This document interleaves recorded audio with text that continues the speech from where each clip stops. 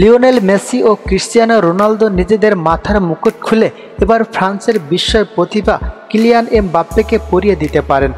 মন্তব্য ইংল্যান্ডের প্রাক্তন ডিফেন্ডার রিও ফার্দিনান্দের। প্যারিস জার্মার স্ট্রাইকার এম বাপের বয়স এখন মাত্র উনিশ। এই বয়সেই বিশ্বকাপ ফাইনালে গোল করে ফেলেছেন।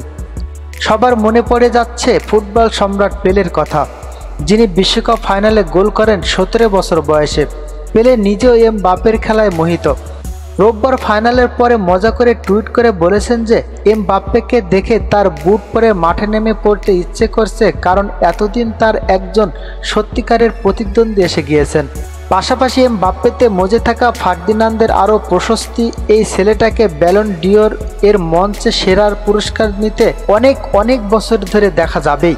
আমি নিশ্চিত, সঙ্গে যোগ করেছেন আশা করি আমার পুরনো ক্লাব ম্যানচেস্টার ইউনাইটেড ওকে সই করানোর চেষ্টা শুরু করবে।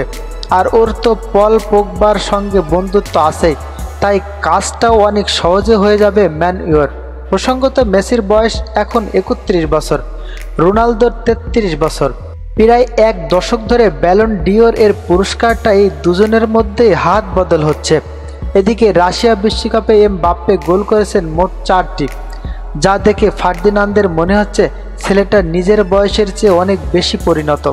তার সুরে গলা মিলিয়েছেন জার্মানির সর্বকালের অন্যতম সেরা ফরওয়ার্ড ইয়র্গেন ক্লেন্সম্যান। সত্যি আমি ছেলেটাকে দেখে অবাক হচ্ছে। ওর খেলা দেখে মনে হচ্ছে ফ্রান্সের জার্সি পরে দশ বছর ধরে খেলে যাচ্ছে। তার আরও কথা, ফুটবলকেও আরও অনেক কিছু দেবে। সবে তো শুরু হলো। আর ওর জন্য ফুটবলের বাজারও নিশ্চয় নড়ে চড়ে বসবে। রোনালদো জুভেন্টাসে যাচ্ছে। নেইমারকে নিয়েও নানা কথা শোনা যাচ্ছে। আমি শুধু ভাবছি, এই ছেলেটাকে নিয়ে আর কি কি হবে আগামী দিনে? হতে শুরু করেছে ইতিমধ্যেই। এই বিশ্বকাপে সবচেয়ে সম্ভাবনাময় ফুটবলের পুরস্কারটা তিনি পেয়েছেন। যে পুরস্কার ব্রাজিল বিশ্বকাপে পেয়েছিলেন পল পোকবা পোকবা কিন্তু বলেছেন, ওর বয়সে আমিও এত ভালো খেলতাম না। পোকবা নিজেও বিশ্বকাপ ফাইনালে গোল করেছেন।